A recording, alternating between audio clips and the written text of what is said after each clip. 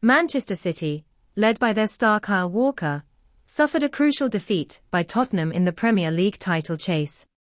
Although the defeat meant a loss of opportunity to close the five-point gap to Arsenal at the top, Walker broke the silence and sent a warning to the Gunners, let's check it out. You who love Arsenal, before continuing with the news, think about subscribing to the channel and activating notifications.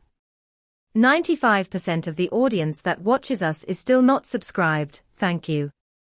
The defender, with four league titles under his belt, believes there are still turnarounds to come in the race and did not hold back in his comments.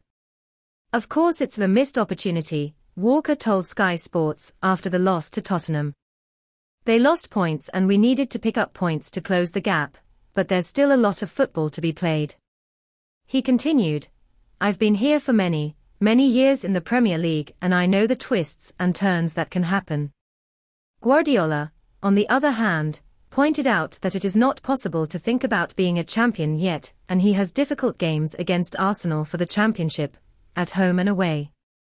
Arsenal's last clash against City was on January 27, 2022, when City advanced in the FA Cup, beating Arsenal 1-0. So fan, what did you think of the Manchester City player's words? Leave your opinion in the comments below, it is very important.